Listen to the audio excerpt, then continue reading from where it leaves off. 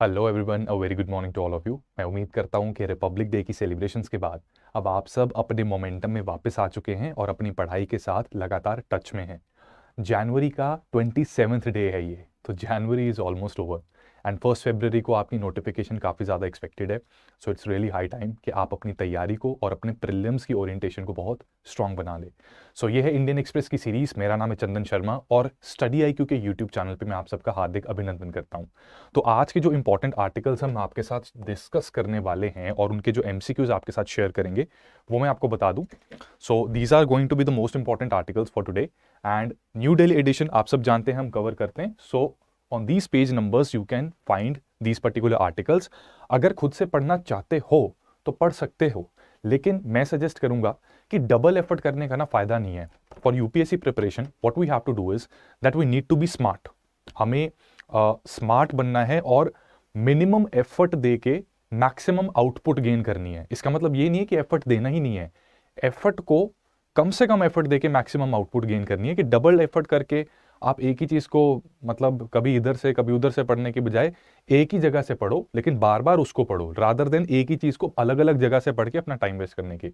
तो अगर एडिशनल आपके पास टाइम है एनर्जी है और आप एफर्ट डालना चाहते हैं तो मैं हमेशा हमेशा सजेस्ट करूँगा कि न्यूज़पेपर को कहीं से भी आप कवर करें। हमारी सीरीज़ से बहुत अच्छे से कवर होता है बिकॉज़ यहाँ पे फॉरवर्ड बैकवर्ड लिंकेजेस बनाई जाती हैं एक मुद्दे को बहुत अच्छे से ब्रेक डाउन किया जाता है। एम क्या पूछे जा सकते हैं उसकी प्रैक्टिस हम करते हैं। मेंस uh, के क्वेश्चंस भी हम प्रैक्टिस कर लेते हैं एंड सी सेट कॉम्प्रीहेंशन यहाँ पे हो जाते हैं। तो it's quite a good series लेकिन इसके अलावा आप हमेशा मंथली कंपाइलेशन कोई एक एनी मंथली कंपाइलेशन ठीक है? मैं किसी एक कंपाइलेशन की बहुत ज़्यादा तारीफ़ करके ये नहीं बोलूँगा कि बाकी कंपाइलेशन खराब है ऐसा बिल्कुल नहीं है। कंपाइलेशन सारी ही अच्छी होती हैं। बस ये कैंडिडेट के ऊपर डिपेंड करता है कि उसको कौन सी कंपाइलेशन के साथ उसका कनेक्ट बन पाता है। वो उसके लिए कौन सी कंपाइलेशन है जो वो रिलेट कर पाता है। ठीक है? बातें इंपॉर्टेंट न्यूज़ सभी कंपाइलेशन में कवर होती हैं। सो so, इसको ज़रूर फॉलो करना along with this series along with any newspaper that you are reading ठीक है? So without wasting further time let start with the discussion of today's important articles जो PDFs इन lectures के हैं वो ज़रूरी हैं आपके लिए। रिविजन उसी के साथ होगी। तो ये पीडीएफ मैं इस टेलीग्राम चैनल पे आपके साथ शेयर कर देता हूँ। And do follow me do connect with me on this Instagram as well and students थोड़ा सा मैं अपोलोजाइज करता हूँ। Due to my busy schedule ठीक है? By the grace of God I will be taking classes very soon in S I P plus as well as foundation batches so थोड़ा मेरा schedule busy होने की वजह से कुछ रिप्लाईज मैं यहाँ पे नहीं कर पाया। I apologise for that but पहली फुर्सत में इस यहाँ पे इन सारी चीज़ों को एड्रेस में करूँगा डेफिनेटली ठीक है? And let's start with the article ठीक है? तो रिपब्लिक डे हो गया, कल हमने इंडिया और इजिप्ट के रिलेशंस के बारे में पढ़ा था। एंड बेसिकली क्योंकि इजिप्ट के प्रेसिडेंट को हम हमने रिपब्लिक डे पर चीफ गेस्ट बनाया था so that's why India Egypt relations were important सो आज के न्यूज़पेपर में भी कुछ फर्दर डिटेल्स uh, और डिस्कशन हुई हैं regarding India Egypt relations and how these relations are basically evolving with time तो एक बहुत इंपॉर्टेंट डेवलपमेंट हुई है इस कॉन्टेक्स्ट में दैट इंडिया और इजिप्ट के रिलेशन अब स्ट्रेटेजिक पार्टनरशिप के रिलेशन बन चुके हैं। ठीक है? स्ट्रेटेजिक पार्टनरशिप से हमारा मतलब ये है कि सिर्फ़ ट्रेड uh, या uh, मतलब बहुत ही एक तरीके से स्पेसिफिक रिलेशंस हो गए हैं।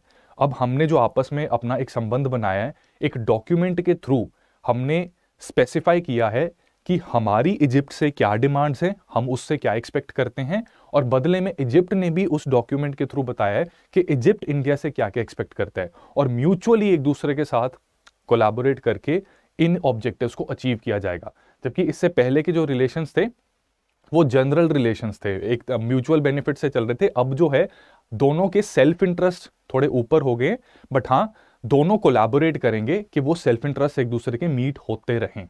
ठीक है? तो ये थोड़ा सा ना इसका एरिया ब्रॉड हो जाता है और ब्रॉड होने के साथ साथ स्पेसिफिक पॉइंट्स के अंदर हम क्या क्या एग्जैक्टली exactly करेंगे to achieve a particular objective वो यहाँ पे मेंशन हो जाता है। जैसे अब जनरली अगर बोलो यूपीएससी की तैयारी कर रहा हूँ this is a general statement लेकिन यूपीएससी में मैं इकोनॉमी की तैयारी कर रहा हूँ, उसको कवर करने के लिए मैंने स्टडी आईक्यू का एसआईपी प्लस बैच ज्वाइन किया है और उसमें मैं डेली टेस्ट देता हूँ। दिस इज़ स्पेसिफिक कि आपका ऑब्जेक्टिव है, उसको अचीव कैसे कर रहे हैं तो this is what is what we mean by strategic partnership UPSC as such बहुत ज़्यादा डेफिनेशन तो नहीं पूछेगी कि what is strategic partnership but हाँ हमें आइडिया होना चाहिए ताकि मेन्स में इनफैक्ट अगर कोई क्वेश्चन आ जाए कि इंडिया इजिप्ट रिलेशन कैसे इवॉल्व हुए हैं तो हमारे बैक एंड में, हमारे बैक ऑफ़ द माइंड में जो इन्फॉर्मेशन है, उसको हम यहाँ पे अपने आंसर्स में पिरो के अच्छा प्रेजेंट कर सकें राइट right. तो यहाँ पे जो हमने कल एक आर्टिकल आपके साथ डिस्कस किया था कि इजिप्ट के प्रेसिडेंट को चीफ गेस्ट बनाया गया था तो इसमें एक इंपॉर्टेंट चीज़ है दोस्तों, कि ये पहली बार हुआ है कि किसी इजिप्ट के प्रेसिडेंट को इंडिया के रिपब्लिक डे पर चीफ गेस्ट की तरह आमंत्रित किया हो।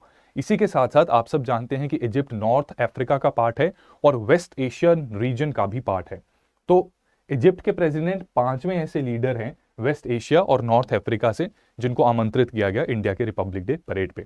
अब वो आए ही थे तो उन्होंने कहा कि चलो कुछ गुफ्तु करके कुछ इंपॉर्टेंट बातें कर लेते हैं तो स्ट्रेटेजिक पार्टनरशिप बन गई। अब इस स्ट्रेटेजिक पार्टनरशिप के चार मुख्य स्तंभ हैं, चार पिल्लर्स हैं। These are the that you can see in front of you political defence and security this is pillar number one economic engagement क्योंकि दो कंट्रीज़ के बीच में टाइज हैं तो इकोनॉमिक एंगेजमेंट के बिना तो वो अधूरे रहेंगे तो सेकंड इज़ इकोनॉमिक एंगेजमेंट फिर साइंटिफिक और एकेडमिक कोलेबोरेशन में यहाँ पे भी हम एक दूसरे के साथ काम करके uh, कुछ ऑब्जेक्टिव्स को अचीव करेंगे and cultural and people to people contacts this is the fourth pillar right अब इन पिलर्स के थ्रू इजिप्ट के साथ हमारे फ्रेंडली रिलेशंस हो गए हैं। एंड यहाँ पे मन में सवाल आ सकता है कि हम इजिप्ट के इतना क्लोज आ क्यों रहे हैं? What is basically our objective और इजिप्ट को हमारी ऐसी क्या ज़रूरत है? क्या उसके आसपास में, उसके पड़ोस में कोई कंट्री नहीं है क्या? तो इसका जवाब देखो दोस्तों इजिप्ट की कुछ कंडीशंस हैं और इजिप्ट की कुछ सिग्निफिकेंस है जिसके बेसिस पे हम ये चीज़ समझ सकते हैं। सबसे पहले आपको पता होना चाहिए कि इजिप्ट जो है ऑर्गेनाइजेशन ऑफ़ इस्लामिक कोऑपरेशन का एक इंपॉर्टेंट मेंबर है। और इंडिया में आप सब जानते हैं माहौल थोड़ा सा कम्यूनल हो जाता है टाइम टू टाइम जिसकी वजह से हमारी इंटरनेशनल लेवल पे ग्लोबल लेवल पे इमेज खराब हो जाती है और ये पर्टिकुलर ऑर्गेनाइजेशन हमारे अगेंस्ट जाना शुरू हो जाती है।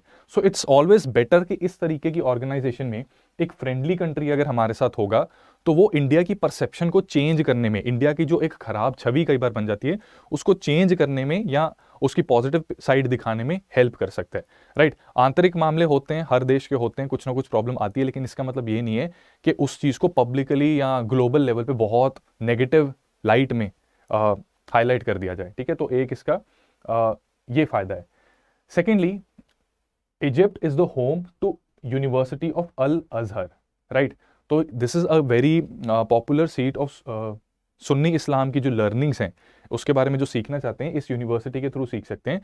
तो बेसिकली अगर हमने इंडिया ने इस्लामिक कंट्रीज़ को आउटरीच करना है इस्लामिक कंट्रीज़ तक अपनी आवाज़ कोई पहुंचानी है या इस्लामिक कंट्रीज़ में अपनी अच्छी इमेज प्रेजेंट करनी है तो इस यूनिवर्सिटी में अगर हम कोलैबोरेट करके कुछ डेवलपमेंट्स करें, क्योंकि इंडिया में Muslims are second largest majority ठीक है? Rather than calling them minority they should be called second largest majority तो हमारी कंट्री में इस्लामिक कल्चर डेफिनेटली इवॉल्व हुआ है एग्जिस्ट करता है, और यहाँ पे अगर हम कोलैबोरेशन करेंगे तो वर्ल्ड में इस्लामिक वर्ल्ड के साथ हमारे टाइज काफ़ी अच्छे हो सकते हैं।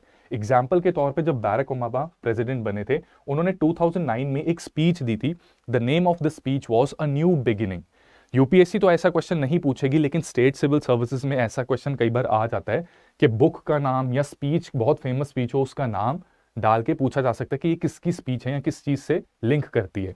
तो अ न्यू बिगिनिंग स्पीच इन्होंने बैरक ओबामा ने अल अजहर यूनिवर्सिटी से दी थी और इस्लामिक वर्ल्ड को आउटरीच करने के लिए इसका काम, इससे बेसिकली इस्लामिक वर्ल्ड को आउटरीच करने के लिए स्पीच थी। सेकेंडली डिफेंस टाइज में हम चाहते हैं इंडिया चाहता है कि इंडियन मेड डिफेंस इक्विपमेंट्स हम इजिप्ट को दें, जिससे कि हम डिफेंस एक्सपोर्ट्स को एनहांस कर सकें। और इजिप्ट भी चाहता है कि state of the art technology अच्छी टेक्नोलॉजी उसको मिले और इंडियन डिफेंस टेक्नोलॉजी काफ़ी क्रेडिबल टेक्नोलॉजी है। सो वी वॉन्ट कि जो तेजस एल सी तेजस है, आकाश मिसाइल्स हैं, डीआरडो डीआरडीओ द्वारा बनाया गया स्मार्ट एंटी एयरफील्ड वेपन्स और कई सारे रेडार्स हम इजिप्ट को एक्सपोर्ट करके डिफेंस एक्सपोर्ट्स को एनहांस करें और इजिप्ट अपनी मिलिट्री को थोड़ा स्ट्रॉन्ग करे स्ट्रेंथन करे, क्योंकि वो जिस रीजन में रहता है नॉर्थ अफ्रीकन रीजन उसकी एक हिस्ट्री है ऑफ़ वेरियस जियोपॉलिटिकल कॉन्फ्लिक्ट्स और काफ़ी सिचुएशन वॉलेटाइल रहती है। सो इट्स बेटर कि डिफेंस के तौर पे वो प्रिपेयर्ड रहे और Indian made equipments Indian made weapons and artillery उसकी काफ़ी मदद कर सकता है इस पर्टिकुलर ऑब्जेक्टिव में। हिस्ट्री में अगर हम जाएँ इंडिया और इजिप्ट के डिफेंस टाइज हिस्ट्री में कैसे रहे थे तो यहाँ पे मैं मेंशन करना चाहूँगा और आपके लिए ये मेंस का फॉर्डर बन सकते हैं। मैं डेफिनेटली विश्वास रखूँगा कि आप अपना प्रिलिम्स क्रैक करें, बहुत अच्छे से क्रैक करें। और मेंस में जब इंडिया इजिप्ट रिलेशन में मान लो कोई क्वेश्चन आ जाता है या एसए में आपको लिखना पड़ता है तो यू शुड नो कि हमारी एयर फोर्सेस इनका काफ़ी आपस में टाए रहा था, ठीक है? इन्होंने एक फाइटर एयरक्राफ्ट की डेवलपमेंट में कोलैबोरेट किया था 1960s के टाइम पर। ठीक है उस टाइम पे इन्होंने कोलैबोरेट किया था। तो जो हमारे रिलेशन हैं स्ट्रेटेजिक भले ही अभी बने हों लेकिन ऐसा नहीं कि पहले हमारे रिलेशन बड़े ही वीक रिलेशन है ऐसा नहीं है बिल्कुल भी नहीं है। राइट इंडियन पायलट्स को ट्रेन किया गया था ठीक है इंडियन पायलट्स ने इजिप्शियन पायलट्स को ट्रेन किया था नाइनटीन uh, से लेके मिड नाइनटीन तक। उसके बाद उनकी ट्रेनिंग हो गई थी तो उन्होंने खुद से कैरी ऑन करना स्टार्ट कर दिया था। एंड इंडियन एयरफोर्स और इजिप्शियन एयरफोर्स दोनों ही रफेल फाइटर जेट्स यूज़ करते हैं। एक ट्रीवियल फैक्ट है बुरे वक्त में काम आ सकते हैं ठीक है? आ, इसके बाद देखो ये तो हमने बताया कि इंडिया जो है क्यों क्या चाहता है बेसिकली हम जो स्ट्रेटेजिक पार्टनरशिप चाह रहे हैं आ, उससे हमारे क्या ऑब्जेक्टिव्स हैं? ठीक है एक तो मुस्लिम वर्ल्ड के साथ हमारे अच्छे कनेक्शंस बन सकते हैं। सेकेंडली हमारे डिफेंस एक्सपोर्ट्स को बूस्ट मिल सकता है। इजिप्ट को क्या फ़ायदा होगा? वो भी देख लेते हैं। तो इजिप्ट ना इस वक्त थोड़े टफ टाइम से निकल रहा है। बुरा दौर चल रहा है और ज़्यादातर कंट्रीज़ इस वक्त अपने बुरे दौर से गुजर रहे हैं। रीज़न कोविड की वजह से आई प्रॉब्लम्स एंड कपल्ड बाय ठीक है? कोविड की वजह से प्रॉब्लम जो था, उसने एक झटका दिया। उस झटके को बम बना के फेंक दिया यूक्रेन रशिया वॉर ने। तो हुआ क्या कि कोविड की वजह से जो लॉकडाउन हुआ तो इजिप्ट की टूरिज़्म इंडस्ट्री आप सब जानते हैं type in the comment section Egypt में ऐसा क्या है जो हम सब लोग वहाँ पे जाके देखना पसंद करते हैं। टाइप कीजिए।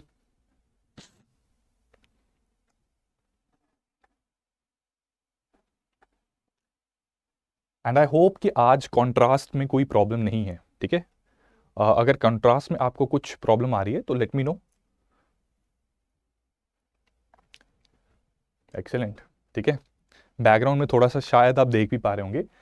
Pyramids mummy one mummy two ये मूवीज़ बन रखी हैं इजिप्ट में। तो टूरिज़्म इंडस्ट्री से इजिप्ट की इकोनॉमी को काफ़ी ज़्यादा फ़ायदा मिलता है राइट लेकिन लॉकडाउन हो गया क्या करें अब? टूरिज़्म बंद पड़ गया, इजिप्ट की इकोनॉमी को बहुत बड़ा झटका लगा। इसी के बाद इजिप्ट जो अपना खाना है फ़ूड है, उसकी फ़ूड सप्लाईज आती हैं कहाँ से? यूक्रेन और रशिया से। 80 परसेंट फ़ूड सप्लाईज उसकी यूक्रेन और रशिया से आती हैं। इन दोनों कंट्रीज़ में जब वॉर हो गई, यूक्रेन का वैसे ही बुरा हाल हो गया, रशिया के ऊपर सैंक्शन लग गए फ़ूड इनसिक्योरिटी आ गई इजिप्ट में। अब इंडिया ने वीट एक्सपोर्ट्स के ऊपर पिछले साल थोड़ा लिमिट लिमिट्स लगा रखे थे, लेकिन उस लिमिट्स को हटाते हुए इजिप्ट की हेल्प करने के लिए हमने लगभग sixty one thousand five hundred metric ton of wheat Egypt को एक्सपोर्ट किया ताकि उनके लोग भुखमरी से, उन त्रासदी ना वहाँ पे कोई हो जाए। ठीक है? तो ये एक ये कुछ इंपॉर्टेंट पॉइंट्स हैं। These can be use for your mains answers ठीक है? ये आपको अगर इंडिया इजिप्ट रिलेशंस का आप एक नोट बनाएँगे, उस नोट में जो जो चीज़ें होती जा रही हैं, वो आपकी आती रहेंगी। एंड जब मेन्स से पहले आप इंटरनेशनल रिलेशंस को रिवाइज करेंगे तो इंडिया इजिप्ट रिलेशंस के आप ये पॉइंट्स अगर दिमाग में रहेंगे तो आंसर्स में उनको आप इनकॉर्पोरेट कर सकते हैं। ठीक है? इन दोनों प्रॉब्लम्स के बाद इजिप्ट में जो इन्फ्लेशन हो गई है, ठीक है? फ़ूड इनसिक्योरिटी हो गई फ़ूड सप्लाईज बहुत बड़ी प्रॉब्लम क्रिएट कर गए, और इन्फ्लेशन में फ़ूड का काफ़ी इंपॉर्टेंट रोल भी रहता है एंड टूरिज़्म को भी हिट लगा तो इन्फ्लेशन वहाँ पे 21 परसेंट चल रही है विच इज़ फाइव ईयर में सबसे ज़्यादा इन्फ्लेशन ठीक है? इंडिया में भी इन्फ्लेशन हाई हुई, पूरे वर्ल्ड में इन्फ्लेशन ज़्यादा हुई बट इजिप्ट में कुछ ज़्यादा ही हो गई। और आज आपका एक होमवर्क रहेगा इकोनॉमी में टाइप्स ऑफ़ इन्फ्लेशन है ना hyper inflation galloping inflation etcetera etcetera इन सारी चीज़ों को आपने रिवाइज करना है। क्वेश्चन इन्फ्लेशन यूपीएससी का ना फेवरेट टॉपिक है। बहुत बहुत ज़्यादा न्यूज़ में रहा है। इस पे क्वेश्चन पूछे जाने की संभावना 99 परसेंट है 99.9 परसेंट है, ठीक है? तो रिवाइज कर लेना। और इसी के साथ साथ इंडियन कंपनीज़ ने इजिप्ट की इकोनॉमी को थोड़ा इंप्रूव करने के लिए, उसके इंफ्रास्ट्रक्चर को बूस्ट देने के लिए 3.15 बिलियन डॉलर्स वहाँ पे इन्वेस्ट भी कर रखे हैं।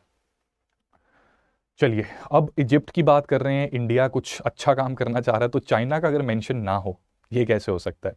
ठीक है तो चाइना का, इजिप्ट के साथ जो बायोलेटरल ट्रेड है ना 15 बिलियन डॉलर्स है। और कल के सेशन में भी हमने ये कवर किया था कि इंडिया, इजिप्ट का बायोलेटरल ट्रेड लगभग इतना है।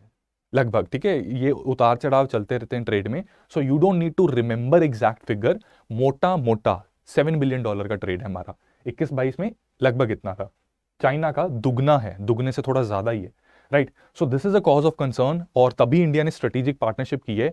एक तरीके से हम चाइना को काउंटर करेंगे, और इंडिया इजिप्ट के रिलेशंस भी बेटर होंगे राइट एंड देखो दोस्तों, चाइना पे भरोसा नहीं किया जा सकता।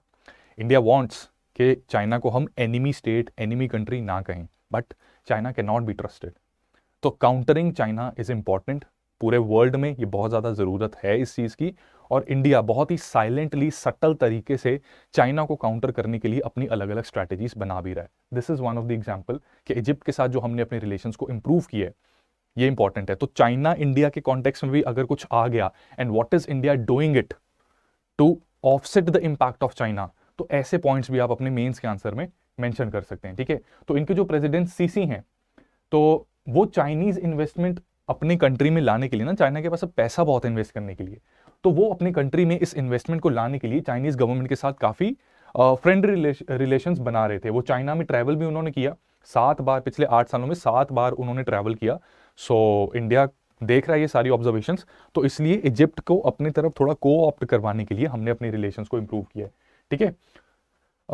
कल के लेक्चर से कुछ चीज़ें हम फटाफट रिवाइज कर लेते हैं और एक करेक्शन में बता दूँ दोस्तों।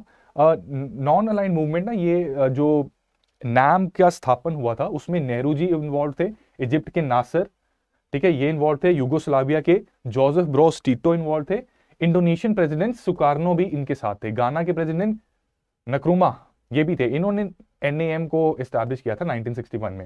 हिस्टोरिक फ्रेंडशिप ट्रेटी 1955 में हुई और यह अब सब जान, सब जानते कि ट्वेंटी ट्वेंटी टू में सेवेंटी फिफ्थ एनिवर्सरी हम सेलिब्रेट कर रहे हैं डिप्लोमेटिक टाइज की, ठीक है? और इजिप्ट को मैप में एक बार अच्छे से देख लेना मेडिटेरियन सी के आसपास के कंट्रीज़ भी आप रिवाइज कर लेना।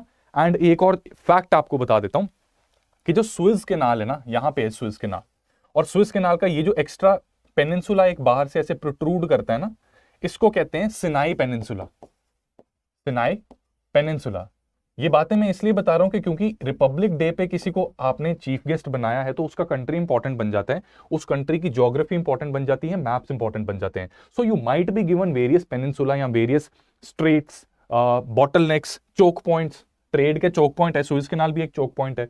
तो वहाँ पे आउट ऑफ़ द ब्लू आपको लगेगा कि क्वेश्चन आ गया बट होता है कि यूपीएससी सिर्फ़ एक चीज़ जानना चाहती है कि रीसेंट कॉन्टेक्स्ट में आपको इसके बारे में पता है। तीन ऑप्शंस ऐसी दी होंगी जो ऐसे डाल रखी हैं। लेकिन स्विज के नाल ही होगा, जो करेक्टली मैच्ड होगा। या स्विज के नाल वाली चीज़ अगर पता होगी तो बाकी ऑप्शंस एलिमिनेट हो सकती हैं। तो इसलिए आई एम टेलिंग यू ठीक है? This is Sinai peninsula Suez canal. Suez के नाल से पूरे वर्ल्ड का 12 परसेंट ग्लोबल ट्रेड कंडक्ट किया जाता है। और इजिप्ट के साथ अगर हमारे अच्छे रिलेशन होंगे तो स्विज केनाल का इस्तेमाल करते हुए हम यूरोप में और नॉर्थ अफ्रीका में काफ़ी अच्छा ट्रेड कर सकते हैं। हमारे, हमें सिर्फ़ इजिप्ट में ही फ़ायदा नहीं होगा। बल्कि इसके थ्रू जो आगे फर्दर एक रीजन एग्जिस्ट करता है, वहाँ पे भी हमें फ़ायदा होगा, ठीक है? इसके बाद ये चीज़ें आई होप आपको याद हैं, ठीक है? ट्रेड रिलेशंस की हमने कल बात की थी इंडिया बाय नाइल फेस्टिवल की बात की थी। अगर किसी ने कल का लेक्चर नहीं देखा, मैं सजेस्ट करूँगा कि कल का लेक्चर ज़रूर देखें एमसीक्यूज की प्रैक्टिस करें और पीडीएफ आपको टेलीग्राम चैनल पे डेफिनेटली मिल जाएगा वहाँ पे, ठीक है? तो चलिए क्वेश्चन वन ये टेस्ट है आपका। क्वेश्चन वन बताइए what will be the correct answer to this question अभी आपका वो डाउट भी क्लियर करना है मुझे। जो थीम के रिगार्डिंग आपके डाउट आ रहे थे आ, वो भी क्लियर करना है। तो बेक ऑफ़ होके ना यहाँ पे ऐसा नहीं करना कि ये आंसर मैं मार्क नहीं करूँगा। सारे क्वेश्चन अटेम्प्ट करने आठ दस क्वेश्चन ही होते हैं। तो अगर गलत हो भी जाएगा नथिंग टू वरी यहाँ गलत कर लो बट एग्ज़ाम में गलती नहीं करनी हमने। What will be the answer to question one आपको दो स्टेटमेंट्स दी हुई हैं। करेक्ट स्टेटमेंट आइडेंटिफाई करनी है। पहली स्टेटमेंट कह रही है that seventy fourth Republic Day it was themed around Jan Bhagidari that is peoples participation ठीक है? श्रद्धा का डाउट है okay Shraddha, Rajiv okay Shraddha and Rajiv they have doubt और भी लोगों का हो सकता है। ठीक है, करते हैं।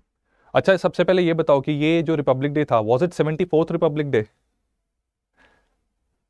was it seventy fourth Republic Day it was seventy fourth Republic Day इसकी थीम यही है। ठीक है यही थीम है। कंफ्यूजन क्या आ रही है? कोई और थीम भी कोई सोच रहे हैं कि कुछ और भी हो सकता है इसका। And secondly for the first time Egyptian president को इनवाइट किया गया ये भी ट्रू है। आंसर इसका सी ही है। अब मुझे बताओ फ़र्स्ट में आपको क्या कंफ्यूजन आ रही है? कुछ लोगों को फ़र्स्ट में कंफ्यूजन आ रही है। आ, Nari Shakti Nari Shakti and and and and new India कुछ लोगों को लग रहा है कि नारी शक्ति जो है वो रिपब्लिक डे की थीम होनी चाहिए बट रिपब्लिक डे की थीम एंड दिस थिंग ध्यान से देखो Republic Day parade this is the keyword जितने मैंने आर्टिकल्स पढ़े इवन आई मुझे भी एक थोड़ा सा हल्का सा कंफ्यूजन आई थी। आई सर्च तो परेड की थीम ये है। नारी शक्ति इस परेड की थीम, रिपब्लिक डे की थीम जो है ना दैट इज़ ये Jan Bhagidari. Parade and this thing different है, ठीक है? और इसके मैंने स्क्रीनशॉट्स आपके साथ शेयर कर दिए एंड किस चीज़ ने मेरी क्लैरिटी दी इसमें? कौन से न्यूज़पेपर ने दी? हिंदुस्तान टाइम्स ने। ठीक है? तो हिंदू इंडियन एक्सप्रेस इन दोनों में से कौन सा पढ़े? हिंदुस्तान टाइम्स ने मेरा डाउट क्लियर किया। मैं आर्टिकल भी आपके साथ शेयर कर दूँगा। लेकिन इसका मतलब ये नहीं है कि इनके साथ साथ हिंदुस्तान टाइम्स भी अब स्टार्ट कर दो। जो हिंदुस्तान टाइम्स पढ़ रहे हैं, वो वो भी पढ़ सकते हैं। It's a good news right but ठीक है, हम यहाँ पे ये कवर करेंगे। क्लियर है ये? Everyone is it clear parade की थीम ये है।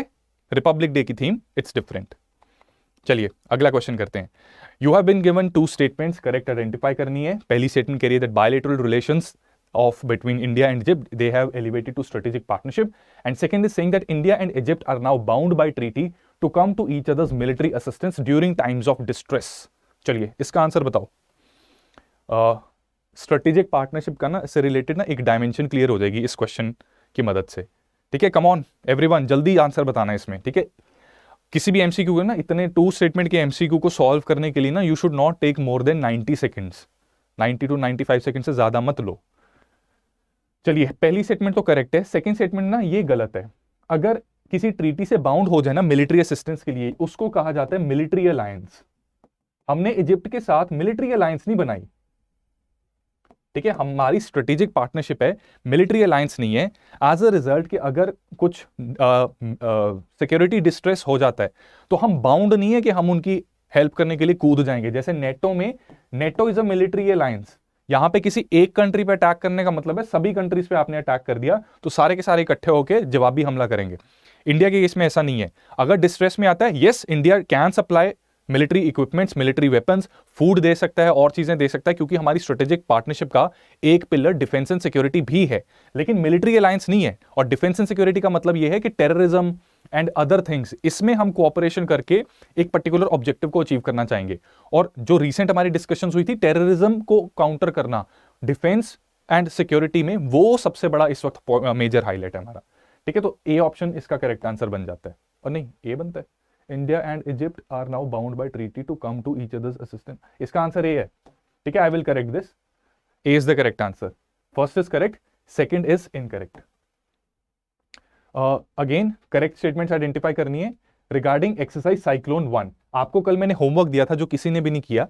ठीक है? आज कर लेना। इंडिया और इजिप्ट के बीच में कुछ डिफेंस एक्सरसाइजेस होती हैं। उनके नाम आपको पता होने चाहिए। रिसेंटली जनवरी में जनवरी 2023 में साइक्लोन वन एक्सरसाइज कंडक्ट करवाई गई थी इजिप्ट के साथ कंडक्ट करवाई गई थी तो ये फ़र्स्ट स्टेटमेंट मैं आपको फ्री में दे रहा हूँ, ठीक है? ये तो स्टेटमेंट करेक्ट है।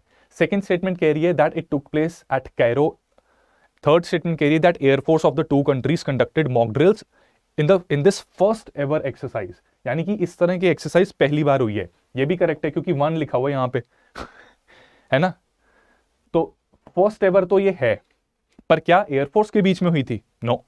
ये हुई थी स्पेशल फोर्सेस की। स्पेशल फोर्सेस के बीच में ये एक्सरसाइज हुई थी। ठीक है, और यहाँ से इसके रिगार्डिंग जो पॉइंट्स मैं बता रहा हूँ ना, उनको भी नोट कर लो। साइक्लोन वन स्पेशल फोर्सेस के बीच में हुई थी। कायरो में नहीं हुई थी। ये कहाँ हुई थी? कमेंट्स में बताइए। एक्सरसाइज साइक्लोन वन कहाँ पे हुई थी? ये राजस्थान में हुई थी। राजस्थान में कौन सी जगह पे हुई थी? बताइए। ये आपका होमवर्क रहेगा। ठीक है I can tell you but आप सर्च कीजिए इसको। ठीक है तो ये स्टेटमेंट गलत है, ये भी गलत है ओनली वन इज़ करेक्ट तो आंसर इसका ऑप्शन ए बन गया। ठीक है? यस एक्सीलेंट प्रत्युष ने सही आंसर दिया गुड बाकियों का होमवर्क रहेगा, जिनको नहीं पता। चलिए, अगले क्वेश्चन पे जाते हैं। ये क्वेश्चन अच्छा था not question article has the world dodge recession ठीक है, इसके बारे में समझना है। जीएस थ्री इकोनॉमी के साथ लिंक करता है और इसका ना कॉन्टेक्स्ट बता देता हूँ कि एक ना परसेप्शन थी पूरी दुनिया में कि 2023 में जो सेंट्रल थीम रहेगी ना इकोनॉमी की, वो होगी कि पूरे का पूरा दुनिया ज़्यादातर कंट्रीज़ रिसेशन में जाएँगे। लेकिन ऐसा नहीं हो रहा और जो परसेप्शन है कि 2023 में हम रिसेशन को देखेंगे वो चेंज हो रही है ठीक है? तो अब देखते हैं कि ये हुआ कैसे। अब दोस्तों ये ना चार्ट है आ, आपको स्क्रीन के ऊपर शायद ये एरोज ना दिख रही हो बट जो पीडीएफ मिलेगा वहाँ पे ये एरोज मौजूद रहेगी और बहुत क्लियरली नज़र आएँगी। तो हमने ना इस फ्लो चार्ट के ज़रिए ये समझना है कि बेसिकली चीज़ें हो किस तरीके से रही थी, क्या डेवलपमेंट चल रही थी और क्यों? 2023 जिसको हम समझ रहे थे कि ग्लोबल रिसेशन हमें देखने को मिलेगा, अब हमारी परसेप्शन चेंज हो गई है कि रिसेशन नहीं आएगा ग्रोथ होगी। तो देखो, पिछले साल इकोनॉमिक स्लोडाउन हुआ। क्यों हुआ? कोविड की वजह से और रशिया यूक्रेन वॉर की वजह से। अब जब इकोनॉमिक स्लोडाउन हो गया, यानी कि इकोनॉमिक स्लोडाउन का मतलब है कि इकोनॉमिक ग्रोथ नहीं हो रही। ग्रोथ को थोड़ा पुश देने के लिए आप सब जानते हैं कि सरकार अगर इंटरवीन करती है तो दो चीज़ें कर सकती है वो मॉनिटरी पॉलिसी के ज़रिए और फ़िज़िकल पॉलिसी के ज़रिए। Monetary policy central bank control करता है और सेंट्रल बैंक क्या करेगा? रेपो रेट्स को रिड्यूस कर देगा। लूज मॉनिटरी पॉलिसी मतलब इंटरेस्ट रेट्स को रिड्यूस कर दिया जाएगा ताकि लोन लेना आसान हो जाए और लोग अपना जो पैसा अगर डिपॉजिट कर रहे हैं, वो डिपॉजिट करने के बजाय उसको खर्चना पसंद करें। तो मार्केट में मनी फ्लो हो, वो फ्लो होगा इकोनॉमिक ग्रोथ होगी। सेकेंडली सरकार फ़िज़िकल पॉलिसी कंट्रोल करती है फ़िज़िकल पॉलिसी में क्या होगा? व्हाट विल हैपन कि सरकार पैसा डाल रही है मार्केट में, वो पैसा फैल रहा है, ठीक है? एंड इकोनॉमिक ग्रोथ उससे भी हो सकती है। लेकिन इसका ना एक काउंटर इफ़ेक्ट देखने को मिला कि जब लॉकडाउन चल रहा था, तब तो इन चीज़ों की ज़रूरत थी। लेकिन साथ ही लॉकडाउन खुलना शुरू हो गया और ये जो पैसा था, ये भी अब सर्कुलेट कर रहे हैं। लॉकडाउन खुलने के बाद इकोनॉमिक एक्टिविटी भी वापस रीस्टार्ट होगी उससे क्या हुआ? क्या बनता है उससे? एक्सेस लिक्विडिटी बन गई। ठीक है? एक्सेस लिक्विडिटी हो गई। एक्सेस लिक्विडिटी से क्या होता है? इन्फ्लेशन बहुत ज़्यादा एलिवेट हो जाती है राइट अब जब इन्फ्लेशन बढ़ रखी है और ये सिचुएशन है, ऐसी सिचुएशन किसी भी इकोनॉमी को वलनरेबल बना देती है कि अगर कोई एक्सटर्नल शॉक हो गया ना, कि मान लो किस कहीं पे युद्ध हो गया, युद्ध की वजह से सप्लाईज में कुछ गड़बड़ हो गई इन्फ्लेशन ऑलरेडी हाई है सप्लाई की वजह से और ज़्यादा बेड़ागर्क हो सकता है तो वलनरेबिलिटी होगी। वलनरेबिलिटी से बचने के लिए, और ये हमने देखा भी है, हुआ क्या था बाद में? रशिया यूक्रेन वॉर, ये हो गई थी। इस सिचुएशन को संभालने के लिए फिर सेंट्रल बैंक ने क्या फॉलो किया? हॉकिश मॉनेटरी पॉलिसी और गवर्नमेंट ने क्या फॉलो किया?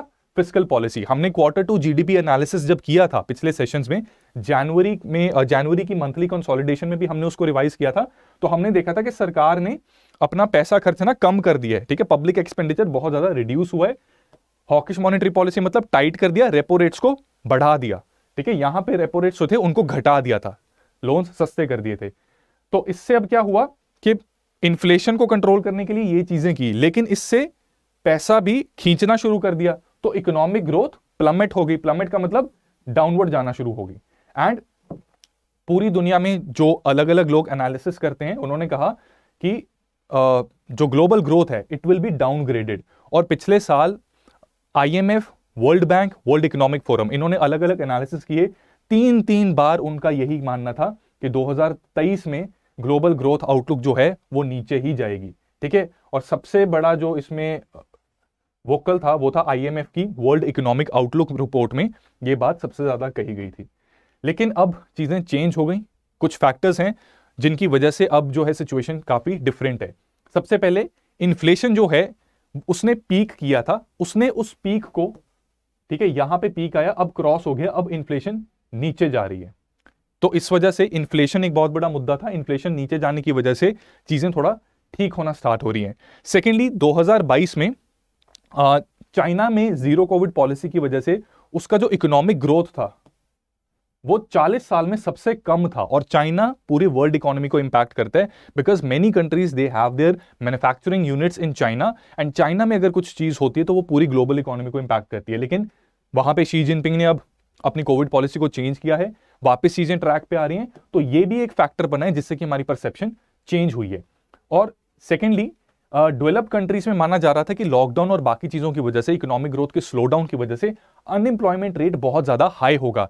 लेकिन ऐसा वहाँ पे नहीं देखने को मिला, ठीक है? अनएम्प्लॉयमेंट रेट वहाँ पे बहुत ज़्यादा हाई नहीं है मॉडरेट है और अब वापस ठीक होना स्टार्ट हो गया है। जब अनएम्प्लॉयमेंट रेट कम होता है, उसको हम कहते हैं कि लेबर मार्केट स्ट्रांग है। ज़्यादा लोगों के पास नौकरियाँ हैं, वो काम कर रहे हैं अवेलेबल हैं काम करने के लिए और कर भी रहे हैं। लोग जब काम करेंगे, पैसा कमाएँगे, हाथ में पैसा आएगा पैसा आएगा तो हम चीज़ें खरीदेंगे, यानी क्या बढ़ेगा? डिमांड तो कंज्यूमर डिमांड भी सस्टेन हो रही है। ये चार फैक्टर्स हैं जिसकी वजह से अब माना जा रहा है कि 2023 में रिसेशन से शायद हमें जूझना ना पड़े। चीज़ें ठीक हो जाएँगी। लेकिन क्या होता है? आने वाले वक्त में पता लगेगा। और ये चीज़ थर्टी जनवरी को जब आईएमएफ अपनी रिपोर्ट की सेकंड इटरेशन निकाल लेगा, वहाँ पे हमें देखने को मिलेगा। ठीक है? तो चलिए क्वेश्चन करते हैं। ये क्वेश्चन आ सकता है। इसका आंसर बताइए।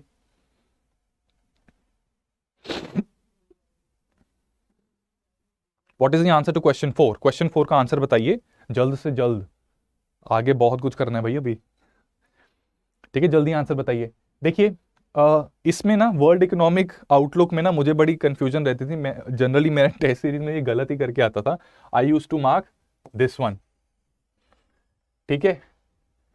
तो रिपोर्ट्स के लिए मैं आपको सजेस्ट करूँगा कि रिपोर्ट्स को ना ऐसे नहीं पढ़ना कि जो रिपोर्ट आई उसको रिवाइज कर रहे हो। रिपोर्ट्स के लिए ना एक पेज आपने लेना है। उस पेज पे रिपोर्ट्स रिलीज़ बाय इसका टेबल बनाइए। ठीक है, जैसे हम अपने एस प्लस बैच में करते हैं करंट अफेयर्स की अच्छी कवरेज के लिए हम टेबल्स के थ्रू करते हैं। इंटरनेशनल ऑर्गेनाइजेशन का टेबल बनाते हैं हम रिपोर्ट्स का टेबल बनाते हैं एक्सेट्रा एक्सेट्रा ये सारी चीज़ें करते हैं। आप भी एक पेज पे ना इंपॉर्टेंट रिपोर्ट्स और कौन उसको रिलीज़ करते हैं, वो बनाइए। इसमें ease of doing business world economic outlook global outlook global economic outlook ये सारी चीज़ें इंपॉर्टेंट है। तो टेबल बनाने से आप ये याद कर सकें, और मैंने अपने माइंड को ट्रेन कर दिया था कि क्योंकि मेरा बार बार गलत गलत होता था टेस्ट सीरीज़ में तो टेस्ट सीरीज़ देने का ये भी फ़ायदा है कि फिर पता लग जाता है, यार, अगर आ गया ना यूपीएससी में तो गलत हो सकता है तो रट्टा या कुछ ना कुछ तो करो। तो मैंने ट्रेन कर दिया कि वर्ल्ड इकोनॉमिक फोरम में वर्ल्ड इकोनॉमिक आउटलुक में जो मेरी इंस्टिंक्ट बोलेगी ना, उसके उल्टा करना है मैंने। तो ये तो हो ही नहीं सकता, ठीक है? वर्ल्ड बैंक आईएमएफ इन दोनों में से हो सकता है और इसमें से वर्ल्ड बैंक भी नहीं है। ठीक है?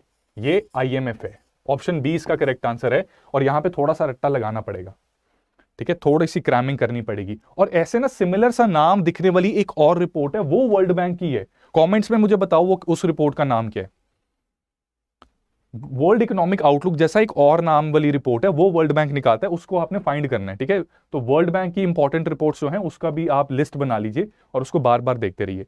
ये क्वेश्चन चलिए ये क्वेश्चन कीजिए। ये इंटरेस्टिंग क्वेश्चन है ठीक है? कैम 92 सभी लोगों ने देख रखा होगा तो वहाँ पे भी ऐसे कॉन्सेप्ट काफ़ी क्लियर हो गए थे आपके सबके ठीक है? सो so, ये देखो दोस्तों ये ना एक इंपॉर्टेंट टॉपिक है यूपीएससी में इकोनॉमी में ना एक ट्रेंड देखने को मिला है। कि स्टॉक मार्केट्स और सिक्योरिटी से ना पहले क्वेश्चन नहीं आते थे, पर अब आने स्टार्ट हो गए हैं। तो ऐसा क्वेश्चन ना कर सकते हो आप एक्सपेक्ट यहाँ पे आपको दो स्टेटमेंट दिए हैं करेक्ट ही आइडेंटिफाई करनी है। स्टेटमेंट वन कह रही है कि bullish means that investor will buy low sell high based on speculation of rising market second कह रहा है bearish means investor will sell the stock and buy back at lower price based on speculation that stock market will fall in near future तो इसको याद करने का एक तरीका बताता हूँ। बुल जो होता है, उसके क्या होते हैं? सींग होते हैं। सींग उछालता है। ठीक है? तो यहाँ पे स्पेकुलेशन होगी कि मार्केट उठने वाली है। तो ऐसा इन्वेस्टर क्या करेगा? सस्ते प्राइस खरीदेगा ताकि मार्केट जब वो सींग उछाल के मार्केट उठेगी, तब महँगे प्राइस पे वो बेच के अपना प्रॉफिट बुक कर लेगा। और बियरिश क्या होता है? बियर के क्या होता है? पाव होता है उसका। ऐसे बैठता है बियर अपना पाव ऐसे नीचे रख के। तो ये मानता है कि मार्केट गिरने वाली है। मार्केट अगर गिरने वाली है तो ये क्या करेगा कि अपने जो शेयर्स हैं, उनको महँगे प्राइस पे बेचेगा, ठीक है? और मार्केट जब गिर जाएगी तो सस्ते प्राइस में वापस खरीद लेगा। टू सेल बैक अगेन ये डिफरेंस है। तो इसको कहते हैं मंदोड़िया। ठीक है? स्कैम 92 में कमेंट्स में मुझे बताना, एक बड़े फ़ेमस ब्लैक कोबरा किसको कहते थे? ठीक है? तो वो मंदोड़िया थे, वो बियर थे। राइट तो दोनों स्टेटमेंट्स यहाँ पे करेक्ट हो जाती हैं। ठीक है? तो ये इंपॉर्टेंट कॉन्सेप्ट है बेसिक कॉन्सेप्ट है। तो ये मैंने इसलिए दिया क्योंकि इससे रिलेटेड चीज़ एक न्यूज़ में चल रही है तो उसको कवर करते हैं हम।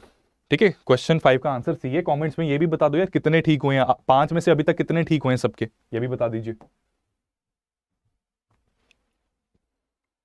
Out of five how many correct ये भी बता देना। ठीक है? तो एक रिसर्च हुआ था इतना हमने रिसर्च में नहीं जाना लेकिन ना एक टर्म बड़ी इंपॉर्टेंट बन गई शॉर्ट सेलिंग ठीक है? This is short selling scam 92 में आपने इस वर्ड को सुना होगा। काफ़ी अच्छी सीरीज़ है वो। ठीक है? अपने मे, मेरे वन ऑफ़ माई मेन्स में जो प्रॉब्लम आई ना उसमें उस सीरीज़ का भी बहुत बड़ा हाथ है। I got really addicted to that series ठीक है? तो यहाँ पे शॉर्ट सेलिंग न्यूज़ में है। अब इसको समझते हैं।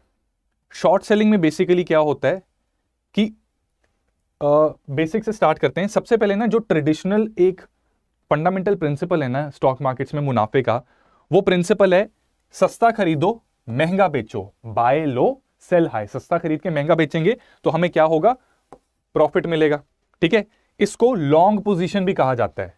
लॉन्ग पोजीशन मतलब सस्ता खरीद के महँगा बेचा और सस्ते खरीद के महँगा बेचा लॉन्ग पोजीशन क्यों है? क्योंकि जब आप सस्ता खरीदोगे ना, ये गारंटी नहीं कि इमीडिएटली वो प्राइसेस बढ़ जाएँगे। आपको वेट करनी पड़ेगी उसके प्राइसेस बढ़ने की। और स्वीट स्पॉट होगा कि होता है ऐसे स्टॉक मार्केट में प्राइसेस बढ़ रहा है बढ़ रहा है बढ़ रहा है बढ़ रहा है बढ़ रहा और गिरा। ठीक है? तो यहाँ तक के जितने पास आप पहुँच पाओगे, आपका प्रॉफिट उतना ही ज़्यादा होगा। ठीक है? एजम्पन की यहाँ पे खरीदा, जितनी इसके पास पहुंचोगे, उतना प्रॉफिट ज़्यादा होगा। सो इसलिए ये लॉन्ग पोजीशन है, इसमें वेट करनी पड़ती है। तो अब जो शॉर्ट सेलिंग है ना फंडामेंटल प्रिंसिपल वहाँ पर भी सेम है। क्या है? बाय लो सेल हाई लेकिन जो इसका सीक्वेंस है, वो उल्टा हो जाता है। लॉन्ग पोजीशन में खरीदेगा पहले, बेचेगा बाद में। लेकिन शॉर्ट सेलिंग में बेचेगा पहले, खरीदेगा बाद में। तो बेचेगा कैसे? ये मान लीजिए, ये कोई है मेरा शेयर है। मैंने दिया ब्रोकर को, ठीक है? ब्रोकर ने क्या किया कि उसको भी पता है कि स्टॉक मार्केट गिर सकती है। तो लेट से कि थर्टी थाउज़ेंड का शेयर है। उसने थर्टी थाउज़ेंड का ये शेयर बेच दिया किसी को। तीस हज़ार आ गए उसके पास। अब मार्केट गिर गई शेयर की वैल्यू हो गई पंद्रह हज़ार। अब वो वापस खरीदेगा उससे। और जब मार्केट गिरती है ज़्यादातर लोग जो हैं अपने शेयर्स को बेचना चाहते हैं। ठीक है? उनको आ, मतलब स्पेकुलेशन आनी शुरू हो जाती है कि प्राइस गिर रहे हैं गिर रहे हैं। ठीक है? और आगे गिर सकती है तो मैं अभी बेच दूँ। तो पंद्रह हज़ार का उसने वापस खरीद लिया। उसका मुनाफा बन गया फिफ्टीन थाउज़ेंड का। तो ये है कि उसने बेचा पहले खरीदा बाद में। ठीक है? तो सीक्वेंस चेंज होगी। इसी के साथ साथ ये भी आप याद रखना कि जो शॉर्ट सेलर्स होते हैं ना इनका खुद का नहीं होता। ये मे, मेरी कंपनी थी मैंने उसको स्टॉक दिया कि करो भाई ठीक है? तो उसने क्या किया? सिर्फ़ बोरो किया था। उसने मुझसे खरीदा नहीं था राइट और इनके ऊपर क्या है कि एक तो ब्रोकरेज इनको मिलती है और दूसरा क्या है कि इनको ना शेयर वापस खरीदने ही पड़ते हैं क्योंकि वापस कंपनी को भी रिटर्न करना है राइट तो उसमें डिटेल में नहीं हम जाएँगे बट ये समझ लेना कि बोरो करते हैं वो उनके खुद के शेयर नहीं होते। और जब उन्होंने किसी को बेचा राइट तो वापस उसको कुछ पर्टिकुलर टाइम पीरियड के बाद वापस खरीदना पड़ेगा टू शो द कंपनी कि हाँ आपका जो शेयर था वो है मेरे पास अभी और उसको मैं कर रहा हूँ ट्रेडिंग राइट तो यहाँ पे क्या है कि अगर मान लो उन्होंने बेचा थर्टी थाउज़ेंड का, लेकिन उस within stipulated time period में वो थर्टी थाउज़ेंड की फिफ्टीन थाउज़ेंड गिरने की बजाय पैंतीस हज़ार चढ़ गया तो वो उसको खरीदना पड़ेगा वापस और यहाँ पे उनका लॉस हो जाता है, ठीक है? ये भी एक इंपॉर्टेंट चीज़ है। अब ये सारी बातें जो आपको बताई है ना क्वेश्चन देखते हैं कि कैसा आ सकता है, उससे आपको क्लियर होगा ज़्यादा। राइट? ये क्वेश्चन सॉल्व करो, इससे आपको क्लैरिटी मिलेगी। ठीक है? तीन स्टेटमेंट्स हैं करेक्ट स्टेटमेंट ढूंढनी है। पहली कह रही है short selling is based on fundamental approach of buying low and sell high buying low and sell high second कह रहे हैं under short selling trader does not own the securities ठीक है? सिक्योरिटीज बेसिकली वही स्टॉक्स को securities भी कह रहे हैं यहाँ पे। And third is saying a short seller is fundamentally bearish in nature this is the reason कि मैंने वो पहला क्वेश्चन आपको पहले कराया था ताकि बुल एंड बेयर में आपका कॉन्सेप्ट क्लियर हो जाए। ठीक है? सो ये आ सकता है क्वेश्चन बताइए क्या आंसर होगा इसका? फ़र्स्ट स्टेटमेंट करेक्ट है। Second statement does not own the securities ये भी करेक्ट है। एंड थर्ड स्टेटमेंट है that a short seller is fundamentally bearish in nature ये भी करेक्ट है। मंदोड़िया है। बेचा एक्सपेक्ट कर रहे हैं कि मार्केट गिरेगी, इसलिए सस्ते में वापस खरीदेगा। ठीक है? तो तीनों ही स्टेटमेंट्स यहाँ पे करेक्ट हैं। तो क्वेश्चन क्वेश्चन सिक्स का जो आंसर है, वो डी है। क्वेश्चन सिक्स का आंसर बताओ, क्या आंसर है?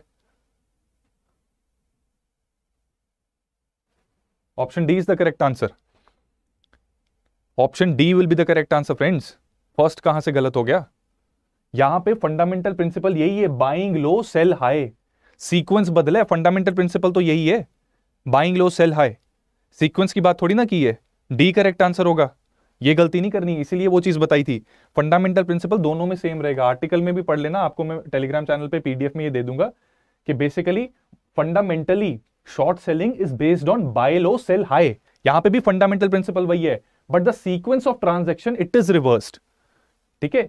यहाँ पे आपको आर्टिकल में मिल जाएगा ये चीज़। तो यहाँ पे करेक्ट आंसर डी बन गया। तो अच्छी बात है क्वेश्चन आपका गलत हुआ है। ऐसा क्वेश्चन अगर एग्ज़ाम में आया तो वहाँ पे गलत नहीं करोगे। चलिए। एक एम वन अब्राम्स के बारे में आर्टिकल है ये। यहाँ पे बेसिकली हमने लेपर टू टैंक के बारे में पढ़ा था, जहाँ पे जर्मनी एक डायलेमा में है कि क्या वो सैंक्शन करे, कि यूक्रेन को वो टैंक्स दे या ना दे। तो उसको थोड़ा प्रोत्साहन देने के लिए यूएस ने ये सोचा कि क्यों ना मैं अपने टैंक्स यूक्रेन में देने का फैसला करूँ, उससे जर्मनी को भी पुश मिलेगा कि वो अपने टैंक्स वहाँ पे प्रोवाइड करे। तो एम वन अब्राम टैंक्स जो हैं, ये यूएस आर्मी के मेन बैटल टैंक्स हैं। ठीक है? एंड काफ़ी पावरफुल ग्राउंड वेपन है। One of the most powerful ground weapons जो यूएस के पास है। और यूक्रेन को अगर ये मिले तो उसको काफ़ी एक स्ट्रेटेजिक एडवांटेज मिलेगी। लेकिन इसी के साथ साथ इस टैंक की यूक्रेन के कॉन्टेक्स्ट में कुछ वीकनेस है। बेसिकली ये जो मशीनरी है ना it is very complicated machinery और यूक्रेन के पास ये एक्सपर्टीज नहीं है कि अगर यहाँ पे कुछ ये खराब हो गया, उसको रिपेयर कैसे करेगा स्पेयर पार्ट कैसे मिलेंगे। ये प्रॉब्लम्स हैं। इसलिए हमने पिछले सेशन में जब लियोपर टैंक टू की बात की थी तो लियोपर टैंक टू की ज़्यादा एडवांटेज है अगर यूक्रेन को मिले तो ठीक है? और ऊपर से यूएस के थ्रू वहाँ पे पहुंचाना that is also going to be a task तो इसलिए लॉन्ग टर्म में ये शायद अफोर्ड ना कर पाए, महँगा भी होगा। दूसरा रिपेयरिंग में प्रॉब्लम आएगी और सस्टेन करने में भी प्रॉब्लम आएगी कि अगर उनके टैंक्स यूज़ हो रहे हैं, खराब हो रहे हैं सर्विस नहीं करनी आ रही उनको तो वो प्रॉब्लम यहाँ पे सब में आ सकती है। ठीक है? ये टैंक्स जो है जनरल डायनामिक्स के द्वारा बनाए जाते हैं। ठीक है? एक यूएस मैन्युफैक्चर मैन्युफैक्चरर है जो इन टैंक्स को बनाता है।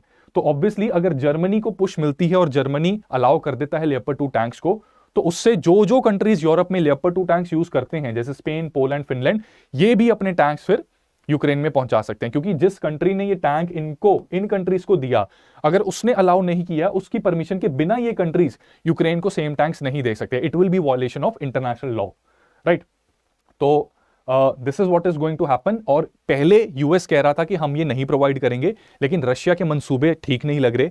विंटर जो है वो पास हो चुका है। रशिया अब पूरे जोश में आने वाला है राइट right? दिवाली मचा, मचाने वाला है वहाँ पे यूक्रेन में तो इसलिए इनका मानना है कि यूक्रेन को जितनी मदद दी जा सकती है वो देनी चाहिए। और इन्होंने जो विंटर में ना रशिया सोच रहा था कि शायद यूरोपियन यूनिटी जो है ना, इनमें आपसी मतभेद की वजह से ना ये टूट जाएँगे। ठीक है, इनमें कहीं पे कोलैबोरेशन नहीं होगी, पर वो ऐसा नहीं हुआ लकीली और अब ये लोग तैयार हैं। कि यूक्रेन को जितना सपोर्ट हो सके हम करेंगे टू फाइट रशिया क्वेश्चन ऐसा आ सकता है। इस तरह का क्वेश्चन ना थर्ड डिफेंस सिस्टम के ऊपर आ भी रखा है। तो ऐसा क्वेश्चन आप यूपीएससी में एक्सपेक्ट कर सकते हैं। 2018 में आया था टी एच ए डी के ऊपर। तो यहाँ पे एम वन अब्राम टैंक्स के ऊपर ऐसा क्वेश्चन आ सकता है। सो क्वेश्चन सेवन का करेक्ट आंसर बताइए प्लीज़ तो यहाँ पे आपको ऑप्शन दे रखी हैं। चार ऑप्शन हैं। तो बड़ा ही ईजी क्वेश्चन है। और जनरली होता क्या है कि बाई चांस हमसे मिस हो जाए ना ऐसी न्यूज़ तो हम ये नाम सुनते हैं एम अब्राम टैंक्स थोड़ा मिडल ईस्टर्न नाम लगता है। तो इलिमिनेशन में सबसे पहले बंदा यूएस को एलिमिनेट करता है। ठीक है तो ऐसी चीज़ों से बचना है, इसलिए ये चीज़ें पढ़नी ज़रूरी हैं। और हम न्यूज़पेपर में कवर कर रहे हैं, आप मंथली कंपाइलेशन भी ज़रूर, एक एनी वन कोई भी विच एवर एनी वन उसको ज़रूर फॉलो करना, ठीक है? वो थोड़ी फॉरवर्ड बैकवर्ड लिंकेज क्योंकि लेट आती है अराउंड ये 21 21 दिन का डिले होता है, ठीक है? अगर जनवरी में कोई मंथली कंपाइलेशन आएगी तो दिसंबर के करंट अफेयर्स उसमें होंगे लेकिन क्योंकि वो टाइम लेते हैं तो फॉरवर्ड बैकवर्ड लिंकेज इसमें कई बार ज़्यादा अच्छी बन जाती है। ठीक है, लेकिन इसका मतलब ये नहीं न्यूज़पेपर छोड़ ही दो। उससे क्या है कि रिविजन इसके रिविजन इसके थ्रू अच्छी हो जाती है और डेली के डेली आप कवर करते हो तो आपका माइंड थोड़ा अवेयर रहता है about the ongoing things correct answer D है, ठीक है वेरी इजी क्वेश्चन राइट तो कॉम्प्रीहेंशन अभी हमने सॉल्व करना है। कॉम्प्रीहेंशन इंपॉर्टेंट है, ठीक है? अच्छी खासी ग्रिप होती है उस पर तो सी सेट में डिस्कालीफाई होने से बच सकते हो। लेकिन हाँ आपकी इन्फॉर्मेशन के लिए दोस्तों बता दूँ, देखो, अब जनवरी निकलने वाला ना तो अब देखो टाइम बहुत कम रह गया है। तो एसआईपी प्लस का बैच फोर जो है, वो ये शायद लास्ट बैच होगा, क्योंकि इसके बाद प्रिलिम्स के लिए डेडिकेटेड बैच निकालना, जिसकी 90 डेज़ में हम कवर कर पाएँगे पूरे सिलेबस को it is going to be difficult so this might be the last batch 27 जनवरी यानी आज से ये बैच स्टार्ट हो रहा है, तीन बजे, आज इसका ओरिएंटेशन लेक्चर है, ठीक है? तो C S live code use करने पे आप इस बैच में एनरोल कर सकते हैं and you can get the maximum possible discount republic day का तो कई लोगों ने मिस कर दिया होगा, ठीक है? उसमें भी C S live code use करने से आपको रिपब्लिक डे ऑफ़र मिल जाना था। अभी भी बट नथिंग टू वरी आप अभी भी C S live code use करके इसको अफोर्डेबल प्राइस पे अवेल कर सकते हैं। इसमें डेली टेस्ट होंगे आपके बुकलेट्स आपके घर पे पहुंचाई जाएँगी, जो कंसोलिडेटेड होंगी, अच्छी रिविजन उससे हो सकती है। टेस्ट की भी डिटेल्ड एक्सप्लेनेशन पीडीएफ होंगे। राइट? एंड uh, डेढ़ साल के करंट अफेयर्स को बहुत ही क्रिस्प तरीके से कवर करवाया जाएगा जिससे कि करंट अफेयर्स की टेंशन लेने की ज़रूरत नहीं पड़ेगी। अगर उतना भी कर लोगे अच्छे से रिवाइज कर लोगे तो एग्ज़ाम में बैठने लायक हो आप और क्लियर भी कर सकते हो। राइट सो so, अब डिले मत करो। अगर तो खुद से सेल्फ स्टडी करनी है देन इट्स फाइन बट अगर खुद से सेल्फ स्टडी करने में प्रॉब्लम आती है एक डेडिकेटेड टाइम टेबल चाहिए जिसको आप डेली फॉलो कर सको अब डिले मत करना यार प्लीज़ थर्टी फ़र्स्ट जनवरी के बाद अगर कोई अपनी ऐसे रिविजन शुरू कर रहा है ना तो that person is walking on a very tight rope very tight ठीक है? तो इसमें ज्वाइन करके आप एक तरीके से आगे बढ़ सकते हैं। तो चलिए, ये क्वेश्चन को सॉल्व करते हैं। कॉम्प्रिहेंशन है। You can pause the video read it yourself मैं साथ साथ डिक्टेट भी कर देता हूँ और साथ साथ मैं एक्सप्लेन भी करता रहूँगा थोड़ा सा। तो ये कह रहे हैं ओपरा। ठीक है? वो दिल चाहता में है नहीं था, वो मोटी सी सिंगर वो ओपरा में गाती थी, ओ, करके। ठीक है? तो that is what is called as opera. Romeo, Juliet and all these things opera में होते हैं। So opera refers to a dramatic art form originating in Europe drama है ड्रामा यूरोप में आया, ठीक है? In which the emotional content is conveyed to audience as much through music both vocal and instrumental as it is through the lyrics तो opera में कह रहा है कि यूरोप में आया ड्रामा है, और जो इमोशंस जगाते हैं ना ये ऑडियंस के, वो कैसे जगाते हैं? म्यूज़िक के थ्रू म्यूज़िक वोकल भी हो सकता है, वो जो हो करके करते हैं राइट और पीछे जो इंस्ट्रूमेंट्स होते हैं ना, जो टन टन टन टन, ये गिटार वगैरह बजते हैं पियानो बजते हैं, उससे भी इमोशनली अराउज किया जाता है ऑडियंस को। इसी के साथ साथ उसकी लिरिक्स भी इंपॉर्टेंट रोल प्ले करती है। जितनी इंपॉर्टेंट ये म्यूज़िक और वोकल और इंस्ट्रूमेंट्स हैं, उतनी ही इंपॉर्टेंट लिरिक्स भी हैं। ठीक है, ये कहा जा रहा है। फिर कह रहा है बाय कंट्रास्ट के इसके विपरीत कंट्रास्ट का मतलब विपरीत इन क्या लिखा है यहाँ पे? By contrast in musical theatre musical theatre लगता ओपरा जैसा ही है लेकिन ओपरा से थोड़ा डिफरेंट है। वो क्यों डिफरेंट है वो यहाँ पे बताया गया by contrast in musical theatre and actors dramatic performance is primary तो यहाँ पे जो इमोशंस या यहाँ पे जो इंपॉर्टेंट रोल प्ले करता है वो एक्टर का ड्रामा प्ले करता है। यहाँ पे एक्टर थोड़ा पीछे है बैकग्राउंड में है। म्यूज़िक और लिरिक्स इंपॉर्टेंट है। सो so, एक्टर का ड्रामा उसकी परफॉर्मेंस जो है वो प्राइमरी है। And the music plays a lesser role it does not ऐसा नहीं है कि बिल्कुल रोल प्ले नहीं कर रहा, करता है, लेकिन लेसर रोल प्ले करता है। The drama in opera is presented using primary elements of theatre opera के अंदर जो ड्रामा है, वो थिएटर के प्राइमरी एलिमेंट्स को करता है यूज़ ठीक है such as scenery costumes acting however the words of opera जिसको लिबरेटो कहा जाता है are sung rather than spoken तो म्यूजिकल थिएटर में अलग होता है ओपरा में बेसिकली गाना गाया जाता है right the singers are accompanied by musical ensemble एक म्यूजिकल ऑर्केस्ट्रा होता है पूरा, काफ़ी सारे इक्विपमेंट्स उसमें होते हैं which range from small instrumental ensemble to a full symphonic orchestra छोटे से कुछ तीन चार इंस्ट्रूमेंट्स भी हो सकते हैं, और बहुत बड़ा ऑर्केस्ट्रा जिसमें गिटार बेस प्लेयर पियानो ठीक है, वो चाइम्स टिंग टिंग टिंग टिंग ये सब करते हैं तो बड़े ड्रामे होते हैं right and trust me one of the most boring things to watch opera I personally feel this ठीक है? तो ये था पैसेज क्वेश्चन ऐसा आएगा। बताइए चलिए। क्वेश्चन बताइए। आंसर बताइए इसका। With reference to above passage, which of the following conclusion can be drawn? People are captivated more by opera than musical theater. ऐसा कुछ कहा है क्या पैसेज में? ऐसा तो कुछ नहीं कहा। कंपेयर किया है। लोगों की बात ही नहीं की। Cannot be the answer option B saying drama in opera is more important than music तो drama in opera is more important than music ऐसा भी नहीं है। उल्टा है बल्कि म्यूज़िक ज़्यादा इंपॉर्टेंट है। म्यूजिकल थिएटर में ड्रामा इंपॉर्टेंट है। ड्रामा क्यों? क्योंकि एक्टर की परफॉर्मेंस ड्रामे से हो रही है। ऑप्शन सी कह रहे orchestra in operas can vary considerably in size ये सही है। क्यों सही है बताओ? कमेंट्स में बताओ जल्दी। ऑप्शन डी कह रही है musical theatre relies above all on music ये भी गलत है। अरे भाई साहब इत, इतनी कंफ्यूजन देखो जो ऑप्शन सी है ना, उसके बारे में हमें कहाँ से पता लग रहा है? लास्ट लाइन से कि म्यूजिकल एंसेंबल जो ओपरा में होता है, यहाँ पे ओपरा की बात की जा रही है, ठीक है? ये ओपरा की बात की जा रही है और यहाँ पे musical ensemble it ranges from small instrumental ensemble to full symphonic orchestra तो बहुत बड़ी रेंज होती है। That is what is being told और जिनको डी ऑप्शन अगर लग रहा है musical theatre relies above all on music ये गलत है यार। म्यूजिकल थिएटर में देखो कहाँ पे लिखे। ये म्यूजिकल थिएटर है एक्टर का drama music plays lesser role music lesser role ठीक है? तो डी ऑप्शन गलत हो गई। इसका करेक्ट आंसर ऑप्शन सी बनेगा। अगला क्वेश्चन करो ये। ये नहीं गलत होना चाहिए।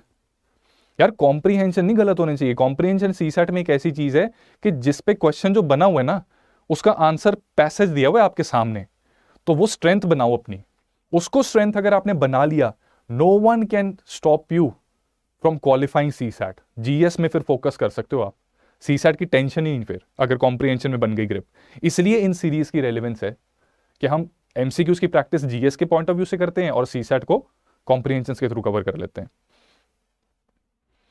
तो यहाँ पे क्वेश्चन नाइन कह रहा है ए ऑप्शन कह रही है acting and costumes are secondary to music in musical theatre B option कह रही है many people find musical theatre more captivating again people की तो बात ही नहीं हुई। सी कह रहे हैं music in musical theatre is not as important as it is in opera and D कह रहे हैं and opera requires a huge orchestra as well as large choir ये भी गलत है। पिछले क्वेश्चन के हिसाब से अगर हम चलें, ये गलत है, ये गलत है। ए और सी में से आंसर क्या है?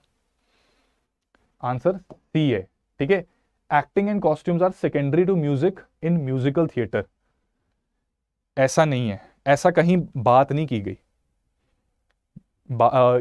कॉस्ट्यूम एक्टिंग जो है खैर एक्टिंग इधर आ गया, वो तो म्यूजिकल थिएटर में प्राइमरी बताया गया तो आंसर सी बन जाता है यहाँ पे। ठीक है, इसका करेक्ट आंसर सी है।